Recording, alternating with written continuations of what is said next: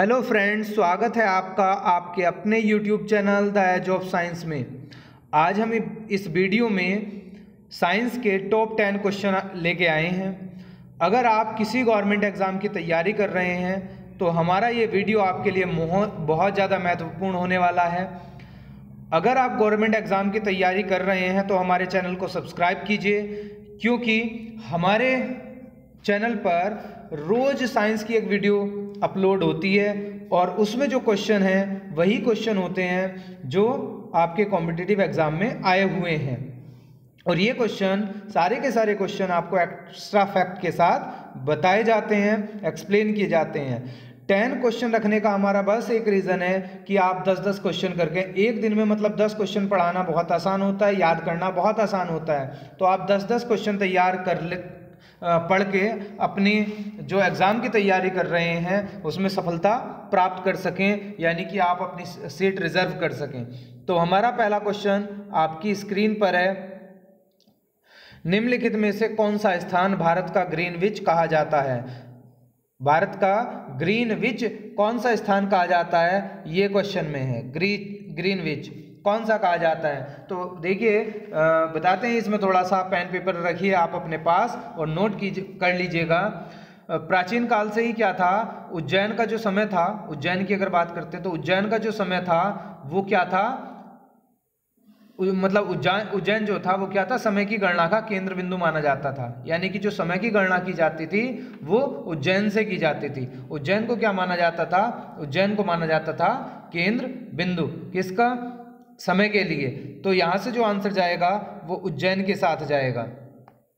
अगर मुगल साम्राज्य की बात करते हैं तो मुगल काल में जो जयसिंह द्वितीय हुए हैं, उन्होंने क्या किया था? उज्जैन में, दिल्ली में, कहाँ कहाँ पर? उज्जैन, दूसरा दिल्ली और जयपुर और कहाँ पर? मथुरा और वाराणसी। इनमें क्या किया था? वैधशालाओं का निर्माण कराया था। यानी कि वैधशालाएँ बनाई थी। कहाँ कहाँ पर? आपका उज्जैन में, दिल्ली में, जयपुर में मथुरा में और वाराणसी में। कौन से काल में? मुगल काल में। Next question number two Bharat का सबसे अधिक विस्तृत भू आकृतिक प्रदेश है। मतलब सबसे अधिक भू आकृतिक प्रदेश कौन सा है? यहाँ से ये कह रहा है। तो जो आपका हिमालय पर्वत है, हिमालय पर्वत दक्षिणी प्रायद्वीपीय पठार के बीच सिंधु नदी है, गंगा है, ब्रह्मपुत्र है। प्रायद्वीपीय भारत से आने वाली जो उत्तर प्रवाही नदियाँ हैं तो वो क्या करती हैं? एक विशाल मैदान का निर्माण करती हैं। कौन कौन गंगा, ब्रह्मपुत्र, सिंधु, प्रायद्वीपीय भारत से आने वाली उत्तर प्रवाही नदियों द्वारा निर्मित एक विशाल मैदान का, निर्मित एक विशाल मैदान होता है, यानी कि एक विशाल मैदान का निर्माण ये करती हैं। इस मैदान को क्या बोला जाता है? इस मैदान को बोला जाता है, क्या बोला जाता है इस मैदान को? इस मैदान को बोला जाता है सिंधु सिंधु, गंगा, ब्रह्मपुत्र ब्रह्मपुत्र मैदान। क्या बोला जाता है? सिंधु गंगा ब्रह्मपुत्र मैदान इसको कहा जाता है। भारत के उत्तरी भाग में होने के कारण इसे क्या कहते हैं? उत्तरी भारत का मैदान भी कहते हैं। भारत के उत्तरी भाग में है, इसलिए इसे भारत का उत्तरी भारत भारत का उत्तरी मैदान भी कहते हैं या उत्तरी भारत का मैदान भी कहते हैं। आइए मैप में देखते हैं इसको। कौन से मैदान की बात हो रही है? किसमें देखते हैं? मैप में देखते हैं कौन से मैदान की बात हो रही है। देखिए, इसी मैदान की बात हो रही है जो आपके सामने है। कौन सा है? यही मैदान की बात हो रही है जो ये वाला मैदान है, जो आपके सामने है। ब्लू कलर का जो दिखाई गया दिखाया गया है, इसी मैदान की बात हो रही है। तो यहाँ से जो आंसर जाएगा आपका, किसके साथ जाएगा? अगर आंसर की बात करते हैं तो यहाँ से आंसर जाएगा उत्तरी मैदान के साथ। यानी कि बी ऑप्शन यहाँ से बिल्कुल आपका ठीक हो जाएगा। ये आंसर कौन सा सही होगा यहाँ से? यहाँ से जो आंसर सही होगा वो आपका बी ऑप्शन करेक्ट होगा। Next question question number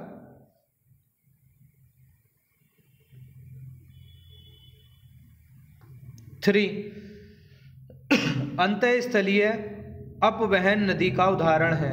मतलब example of inland drainage river तो सबसे पहले तो हमें ये पता होना चाहिए कि इनलैंड ड्रेनेज रिवर होती क्या है। ठीक है?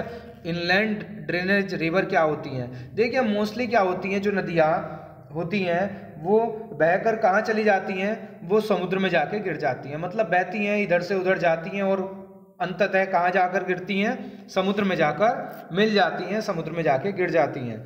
लेकिन कुछ नदियाँ ऐसी होती हैं कुछ नदियाँ जो होती हैं, वो ऐसी होती हैं जो समुद्र तक नहीं पहुँच पाती, बल्कि अपने झील अपने जल को वो क्या करती हैं? या तो झील में खाली करती हैं या अंतर्देशीय समुद्र में खाली करती हैं या रेगिस्तान में के रेत में गायब हो जाती हैं। यानी कि उनका पानी रेगिस्तान के रेत में गायब हो जाता है या वो झील में जाके गिर जाती हैं किसी या अंतर्देशीय समुद्र में जाके गिर जाती हैं। यानी कि अपने पानी को खाली कर देती हैं। तो ऐसी नदियाँ जो कहलाती हैं, वो नदियाँ कहलाती हैं आपकी इनलैंड ड्रेनेज रिवर। यहाँ से अगर इनलैंड ड्रेनेज रिवर की बात करते हैं तो ये जो घाघरा है, ये आपकी इनलैंड ड्रेनेज रिवर है। क्योंकि उदाहरण पूछा गया है, इनलैंड ड्रेनेज रिवर का उदाहरण क्या है तो आपका घाघरा है। अब घाघरा की बात करते हैं तो ये घाघरा कहाँ से निकलती है? ये हिमालय की मानसरोवर झील के पास से निकलती है। कहाँ से निकलती है? मानसरोवर झील के पास पास से निकलती है और तिब्बत, नेपाल और भारत में बहती है। कहाँ कहाँ पर बहती है? तिब्बत में, नेपाल में और भारत में। अगर इसको कहा जाए तो यह गंगा की एक उपनदी है। किसकी उपनदी है? गंगा की उपनदी है, जो बलिया और छपरा है। बलिया और छपरा के बीच में ये गंगा में जाके मिल जाती है। कहाँ पर जाकर मिल जाती है, याद रखिएगा? बलिया बलिया और छपरा जो जगह हैं, इनके बीच में जाके किसमें मिल जाती है ये? गंगा में मिल जाती है।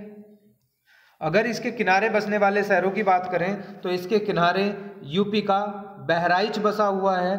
क्या बसा हुआ है? बहराइच। बहराइच बसा हुआ है। और कौन बसा हुआ है? बाराबंकी बसा हुआ है। बाराबंकी भी इसी के किनारे है। बाराबंकी भी इसी के किनारे बसा हुआ है। तो यहाँ से जो ऑप्शन जाएगा, वो बी के साथ जाएगा। Next question number four, Bharat का सबसे बड़ा जल प्रपात मतलब वाटरफॉल जोग प्रपात किस नदी पर है? यानी कि सबसे बड़ा जो वाटरफॉल है, वो कौन सी नदी पर है, जिसका नाम दिया गया है आपको? जोग वाटरफॉल ये कौन सी नदी पर है? तो देखिए, अगर यहाँ से हम बात करते हैं शरावती नदी की तो शरावती नदी पर ही आपका कौन सा है? जोग जल प्रपात है।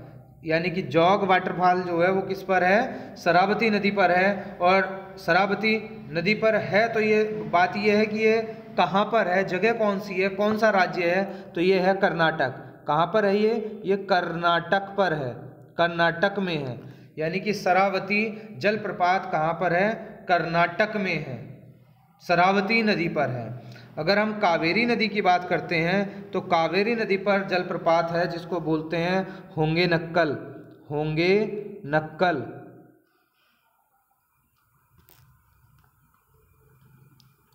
होंगे, आधा क्या बनेगा यहाँ? होंगे नक्कल। होंगे नक्कल। कौन से राज्य में, राज्य की अगर बात की जाती है तो ये कहाँ पर है? तमिलनाडु में। है कहाँ पर है? तमिलनाडु में। है अगर बात की जाए नर्मदा नदी की तो नर्मदा नदी पर, नर्मदा नदी पर एक जलप्रपात है, जिसका नाम है कपिल धारा और दूसरा है धुआंधार जलप्रपात। दो जलप्रपात हो गए नर्मदा नदी पर, एक तो कपिल धारा और दूसरा धुआंधार। और कहाँ पर है ये? ये है जबलपुर में। क्वेश्चन नंबर फाइव आपकी स्क्रीन पर बहुत अच्छा क्वेश्चन है। क्या कह रहा है? कि पानी के चार डिग्री सेल्सियस पर शरीर तैरता है, यानी कि कोई भी इंसान अगर पानी में तैरता है तो वो कौन से टेम्परेचर पर तैरता है? जब पानी का टेम्परेचर होता है फोर डिग्री सेल्सियस तब क्या करता है? वो तैरता है। अब कहा जा रहा है, अगर पानी का टेम्परेचर सौ डिग्री सेल्सियस कर दिया जाए तो क्या होगा? देखिए, यहाँ से थोड़ा ब्लैंक पेज लेते हैं और यहाँ आपको ये क्वेश्चन समझाते हैं। दो तीन बातें इसमें मुझे समझानी है। देखिए, अगर हम पानी की बात करते हैं तो पानी के लिए अगर हम क्या करेंगे टेम्परेचर टी यानी कि टेम्परेचर को इनक्रीज करेंगे तो जो आपकी डेंसिटी होगी, क्या होगी? डेंसिटी डेंसिटी ये क्या होगी? ये डिक्रीज होगी। मतलब अगर पानी का टेम्परेचर बढ़ाएँगे तो पानी की डेंसिटी क्या होगी? डिक्रीज होगी। अगर हम क्या करेंगे? टेम्परेचर को डिक्रीज करेंगे तो डेंसिटी क्या हो जाएगी? इंक्रीज हो जाएगी। इसीलिए आप लोग जानते हैं, अगर कभी क्वेश्चन आ जाए, किसी एग्ज़ाम में आपके क्वेश्चन आ जाए कि फोर डिग्री सेल्सियस पर पानी की डेंसिटी पर क्या प्रभाव पड़ता है तो फोर डिग्री सेल्सियस पर पानी की डेंसिटी क्या होती है? हाइएस्ट होती है। यानी कि टेम्परेचर बढ़ाएँगे पानी का तो डेंसिटी डिक्रीज होगी। और टेम्परेचर घटाएँगे तो डेंसिटी इंक्रीज होगी। अब देखिए, अगर फोर डिग्री सेल्सियस टेम्परेचर है, कितना है? फोर डिग्री सेल्सियस टेम्परेचर आपका कहा जा रहा है तो इसका मतलब इस पर पानी की डेंसिटी क्या होगी? बहुत ज़्यादा होगी। और कहा जा रहा है, अगर हंड्रेड डिग्री सेल्सियस तो इस पर पानी की डेंसिटी क्या होगी? बहुत कम होगी। और पानी की डेंसिटी हंड्रेड डिग्री सेल्सियस पर कम होगी तो जो पानी में तैरने वाला इंसान है, वो क्या होगा? वो डूब जाएगा। पानी में तैरने वाला इंसान डूब जाएगा। और यही कारण है यही कम डेंसिटी का कारण ही है कि समुद्र में जो तैरना होता है वो बहुत आसान होता है। किसकी अपेक्षा? नदी की अपेक्षा। नदी पर नदी में तैरना मुश्किल होता है और पानी आ, समुद्र के पानी में तैरना आसान होता है। तो यहाँ से क्वेश्चन क्या था कि हंड्रेड डिग्री सेल्सियस पर क्या होगा? तो बॉडी विल सिंक मतलब शरीर डूब जाएगा। ऑप्शन ए ठीक होगा। Next question question number six देखिए क्वेश्चन नंबर सिक्स हीलियम के नाभिक में होता है। हीलियम के नाभिक में क्या होता है? हमें ये समझाना है। तो देखिए, जो हीलियम का नाभिक होता है सपोज़ दैट ये हीलियम का नाभिक, ये तो हीलियम एटम है और ये क्या हुआ इसका नाभिक? तो इसमें क्या होता है? इसमें दो तो होते हैं प्रोटॉन और दो क्या होते हैं? दो होते हैं न्यूट्रॉन दो प्रोटॉन और दो न्यूट्रॉन आपको यहाँ देखने के लिए मिलते हैं। तभी तो इसका क्या होता है? अगर इसके हम एटॉमिक मास की बात करें, द्रव्यमान संख्या की तो द्रव्यमान संख्या क्या होता है? चार होता है, क्योंकि द्रव्यमान संख्या किसके मिलने से बनती है? पी और एन के मिलने से बनती है। यानी कि प्रोटॉन, द्रव्यमान संख्या होती क्या है? द्रव्यमान संख्या होती है किसी भी परमाणु के नाभिक में, जितनी प्रोटॉन और न्यूट्रॉनों की संख्या होती है उनका योग। यानी कि प्रोटॉनों की संख्या व न्यूट्रॉनों की संख्या का योग द्रव्यमान संख्या कहलाती है। ए से इसको प्रदर्शित करते हैं। अगर परमाणु क्रमांक की बात आए तो इसे जेड से प्रदर्शित करते हैं और ये कितनी रहेगी? हीलियम के लिए दो रहेगी, क्योंकि ये किसके बराबर होती है, ये होती है प्रोटॉन के बराबर। यानी कि किसी भी परमाणु के नाभिक में जितने प्रोटॉन होते हैं, वही उसकी, उसका परमाणु क्रमांक होती है और जितने प्रोटॉन न्यूट्रॉन होते हैं, उनका योग द्रव्यमान संख्या होती है तो हीलियम नाभिक के बारे में पूछा गया है तो हीलियम नाभिक में दो प्रोटॉन होंगे और दो न्यूट्रॉन होंगे, ऑप्शन ठी सी यहाँ होगा यहाँ से। नेक्स्ट क्वेश्चन 22 कैरेट गोल्ड की शुद्धता क्या होगी? 22 कैरेट गोल्ड की शुद्धता क्या होगी? देखिए, हमें पता है कि सबसे अच्छा गोल्ड जो होता है वो 24 कैरेट का होता है। कितने कैरेट का होता है? 24 कैरेट का होता है। इसका मतलब जो 24 कैरेट का गोल्ड है, उसकी शुद्धता कितनी होती है? 100 परसेंट होती है। कितनी होती है? 24 कैरेट गोल्ड की शुद्धता होती है 100 परसेंट। अब पूछा जा रहा है 22 कैरेट गोल्ड की शुद्धता क्या होगी? तो 22 कैरेट गोल्ड की जो शुद्धता होगी, वो क्या होगी? 22 गुणा सौ बटे चौबीस। तो जब इसको कैलकुलेट करेंगे, आपका जो यहाँ से आंसर आ जाएगा, वो आएगा लगभग नाइन्टी टू परसेंट। तो ऑप्शन जो सही बनेगा यहाँ से सी बनेगा। ठीक है, समझ में आ गया होगा? देखिए, जब हम किसी को बोलते हैं, देखो, जो गोल्ड की शुद्धता होती है, सबसे ज़्यादा जो शुद्ध होता है, वो होता है बाईस कैरेट का।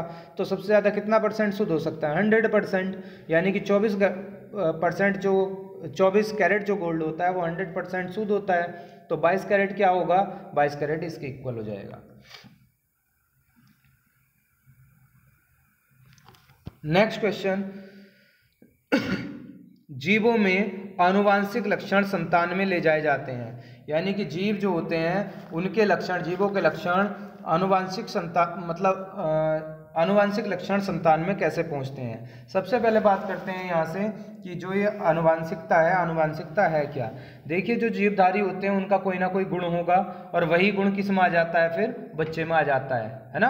हम देख के बोलते हैं ना कि दो लोग हैं मतलब एक बच्चा है, उसके गुण किसी से मिल रहे हैं तो हम बोल नहीं देते, ये इसका बेटा है। मतलब उनके गुण क्या करते हैं, आपस में मिलते हैं। तो एक पीढ़ी से दूसरी पीढ़ी में अनु, आनुवांशिक लक्षणों का जाना मतलब गुणों का जाना क्या कहलाता है? आनुवांशिक लक्षण कहलाता है। जीवधारियों में एक पीढ़ी से दूसरी पीढ़ी में जाने वाले लक्षणों को आनुवांशिक लक्षण कहते हैं। अगर आनुवांशिकता सिद्धांत की बात करें तो आनुवांशिकता सिद्धांत जो दिया था, वो दिया था ग्रेगर जॉन मेंडल ने। किसने दिया था? Gregor John Mendel. किसने दिया था? Gregor John Mendel. अगर राइबोसोम की बात करें यहाँ से तो राइबोसोम की जो डिस्कवरी की थी, वो की थी जॉर्ज पैलेड ने। George George Palade Palade George Palade ने डिस्कवरी की थी। अगर हम बात यहाँ से करते हैं प्लाज्मा की तो प्लाज्मा की किसने की थी? प्लाज्मा की की थी सर विलियम क्रुक्स ने। किसने की थी? Sir William crooks. क्रुक्स ने की थी, सर विलियम क्रुक्स ने की थी। लाइसोसोम की बात करते हैं तो लाइसोसोम की जो डिस्कवरी की थी, वो की थी डी डूबे ने। लाइसोसोम डी डूबे डी डूबे ने की थी। लाइसोसोम को आत्महत्या का थैला भी कहते हैं। मतलब डी डूबे ने की थी, आत्महत्या का थैला कहते हैं। देखो, आत्महत्या की यानी कि डूब के। की सीधा सीधा हो गया। तो यहाँ से जो आंसर जाएगा, वो जाएगा क्रोमोसोम के साथ, यानी कि अनुवांशिक लक्षण संतान में ले जाए जाते हैं किसके द्वारा? क्रोमोसोम के द्वारा। ठीक है? Next question number nine ozone परत पृथ्वी को किससे बचाती है? देखिए, वो आसान क्वेश्चन है। ओजोन परत किससे बचाती है? सबसे पहली बात तो ओजोन परत कहाँ होती है? तो ओजोन परत होती है समताप मंडल में। समताप मंडल में। कहाँ होती है? समताप मंडल में होती है आपकी ओजोन परत। किससे बचाती है? जो सन से निकलने वाली अल्ट्रावायलेट रेज होती हैं, यानी कि परावैंगनी किरणें होती हैं, वो क्या होती हैं? बहुत ज़्यादा गर्म होती हैं। अगर वो पृथ्वी पर पहुंचेंगी तो पृथ्वी पर क्या करेंगी?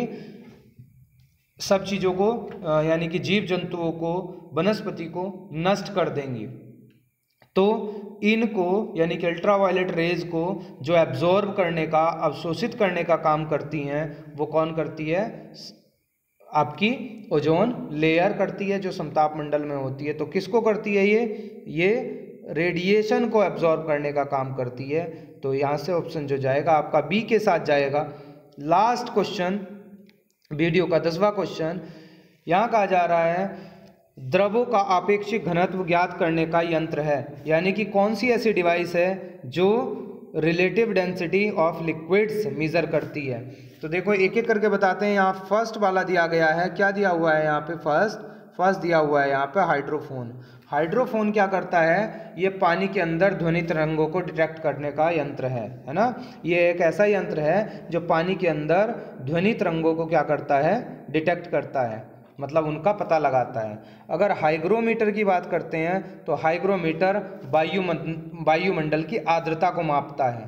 यानी कि ह्यूमिडिटी एटमोसफियर की ह्यूमिडिटी को मापता है। अगर हम यहाँ से एरोमीटर की बात करते हैं तो एरोमीटर वायु और गैसों के घनत्व को मापता है। यानी कि density of air and gases तो यहाँ से जो सही आंसर जाएगा आपका, वो जाएगा आंसर सी के साथ। सी क्या करता है? ये सी करता है, यानी कि हाइड्रोमीटर द्रवों का अपेक्षिक घनत्व जो होता है रिलेटिव डेंसिटी उनको मीज़र करता है, यानी कि उनको डिटेक्ट करने के काम आता है। कमेंट करके बताइए आपको वीडियो कैसा लगा। और हमें बताइए कि आपको कौन से टॉपिक पर वीडियो चाहिए। कल फिर आपको एक वीडियो में हमारा मिलेगा। तब तक के लिए नमस्कार, जय हिंद, जय भारत।